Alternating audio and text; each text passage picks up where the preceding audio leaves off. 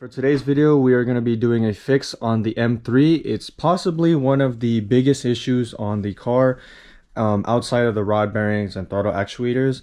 Um, it's not a huge deal, but if you can kind of see below, you can see that under tray is no longer hanging on at all. I've been dragging this along for the past few days. It's pretty embarrassing. Here are the instructions. Um, it's only one page and it's only one side so uh, there's apparently nine steps. Uh, we probably won't be following this to a T because we have it on ramps. And this is telling you to um, place it on the on level ground and lift it. Um, but we're gonna try to do it on ramps because it's a little more convenient. Calvin already took off the passenger side. Um, it's mostly just held by these wires.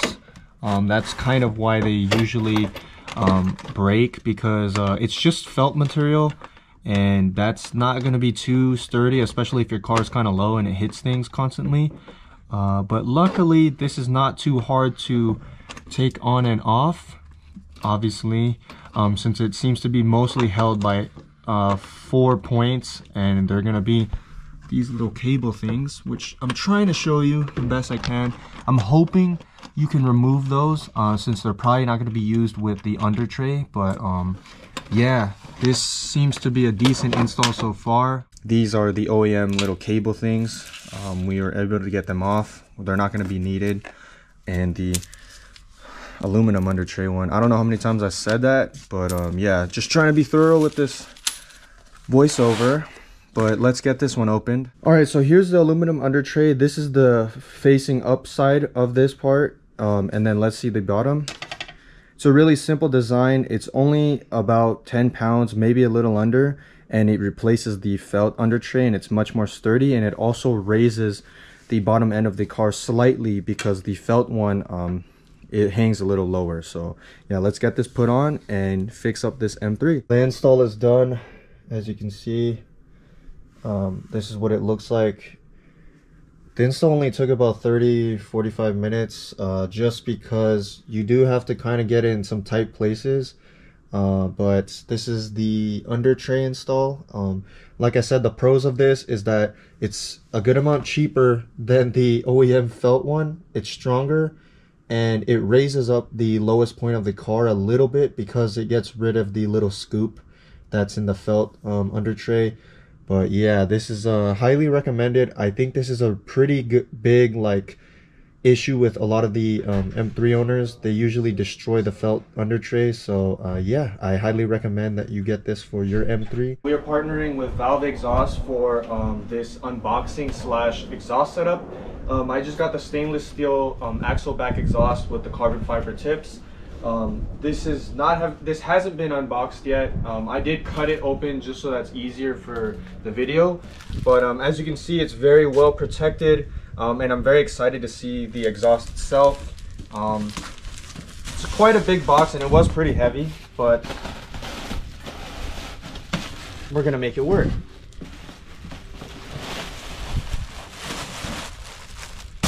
Okay, so there's quite a few pieces in there that makes sense why it was so heavy.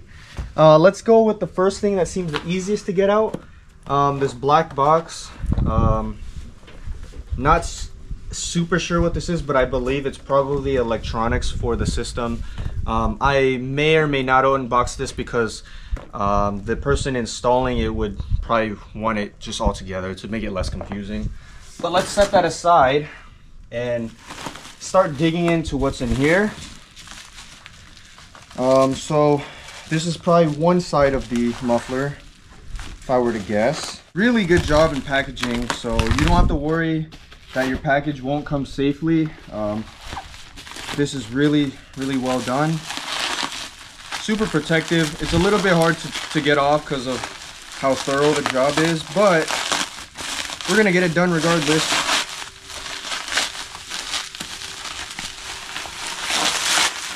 So as I suspected, this is one of the mufflers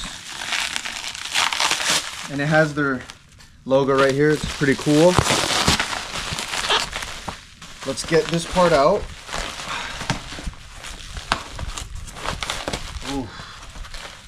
This is looking pretty good. I like what I'm seeing so far. Really good welds. The stainless steel looks good as well. Um, see. There we go. There's the first muffler. Now I need to find a place to set it down because I don't want to damage it. So here's the valve. It's currently closed. Um, I just wanted to show you so that you can see the mechanism and just kind of see what's inside the tubing. From the size of this, I'm sure this is a tip. Um, pause if needed, but let me let me open that up. I did opt for the carbon fiber tips, so this should look really good. Yep, I can see it already. Whoa! We almost dropped that. All right. Uh, good thing I got good reflexes, uh, but I am a little clumsy as you can see. Woohoo! Look at this! This looks so sick. Oh my gosh, it's pretty big size as well. But personalities matters more. Yes, sir. This looks really good.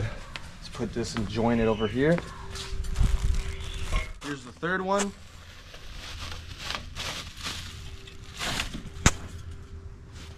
join this one over here as well. Last but not least, this is the fourth tip. I can't wait to see how this looks on the car because carbon fiber tips are always a plus and I finally got some. Shout out to Valved Exhaust. So we're going to the second muffler. It's gonna be the same as the first one, just the opposite side. So far I've been really enjoying the unboxing because I just can't wait to get this system on my car because I've been riding around and with the stock exhaust for quite some time and I'm getting just a little bit bored of the stock sound. It's pretty muffled and uh, the S65 deserves to sing its heart out all the way to 8400 RPM. So that's what I partnered with Valve Exhaust to do. This partnership is going to be really good. Um, if this video does well, we can definitely get more valve exhaust parts on the way because this is just the axle back. But it's the start to something beautiful. Here it is again. I believe this is, yeah, from the feel of it, it's the hardware. Um, I actually want to keep this as is because um, this is going to be saved for the installer just to keep everything in one place. So we'll add it to this, which is probably the electronics. Um, we're nearing the end of this unboxing. We just have the two muffler pipes, the ones that connect the axle back to um, the X pipe essentially. So let's get that done and then we can show the whole system. So here's the system fully laid out.